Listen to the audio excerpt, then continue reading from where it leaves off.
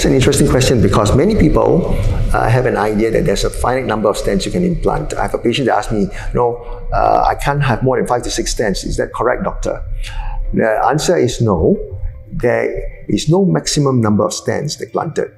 But of course, the stent is a foreign object, so we don't want to implant unnecessarily. So the, the fewer the stents that you can implant, the better.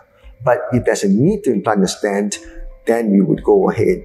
There, there is no maximum limit. Uh, of course, you know, if patients were to require too many stents, then the questions that we often ask is whether stenting is the best treatment of choice or whether they should consider alternative treatments such as coronary artery bypass surgery.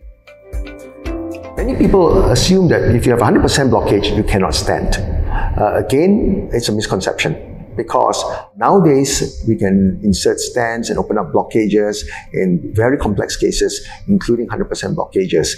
The key is opening it up. If you can open up the 100% blockage with the right balloon, the right wires, then we can insert the stent and then the stent can be deployed. Yes, we can stent 100% blockage.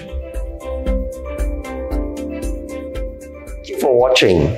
So I hope you like the video. If you do, please like, share, or comment.